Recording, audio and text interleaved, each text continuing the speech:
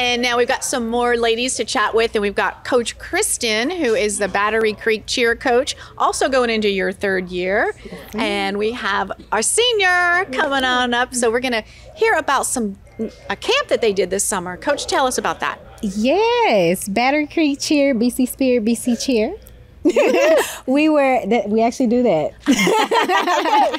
we were able to host our very first home camp this year, mm-hmm. and it was so exciting because all the girls we got to not only develop our technical skills, but we got to develop the spiritual leadership that is such mm. a major mm. component of yes. Battery Creek High School. Mm-hmm. So uh, each day of our camp, our theme was the circus this year for our camp, but each day was tied to a different habit. Uh, the seven habits of highly effective people, which is a staple in our school. And so we taught them everything from being proactive, the importance of beginning with the end in mind, thinking win win, seeking first to understand, then being understood sharpening the saw, and a plethora of other different skills that you can utilize not only on the field or on the court, basketball season, but also in life.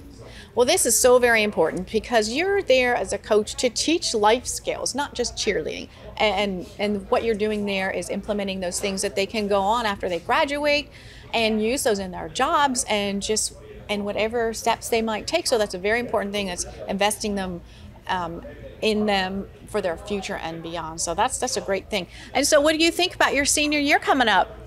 I think that it will be an amazing experience, and I'm actually happy. And Coach Smith here has brought me out to, you know, stand out from the crowd, you know, talk more, be proactive into activities in during the school. So that's so great, and that's a tough thing to do in today's time, right? It's easy to go with the flow and go with the crowd, but if you stand up for for the right things. That's just so admirable. So congratulations on that. Thank and you. I love your little charms. You got go go BC. BC Spirit, BC Cheer, BCC. Woo!